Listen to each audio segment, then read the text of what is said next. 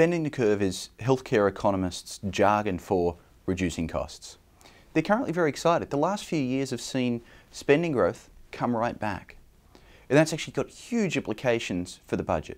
Because if you keep spending growing faster than GDP, healthcare becomes a bigger and bigger share of the economy. Eventually, we're all just doctors or nurses. So we're excited about the recent decline in healthcare spending growth, but should we?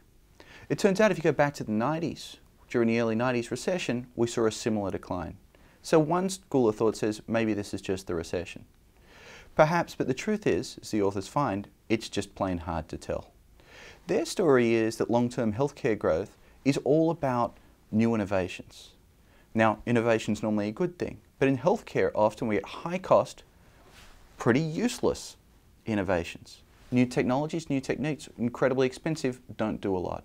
And the more of these that come down the pike, the more that get funded, the more healthcare costs will uh, continue to expand. At the end of the day, they're mildly optimistic.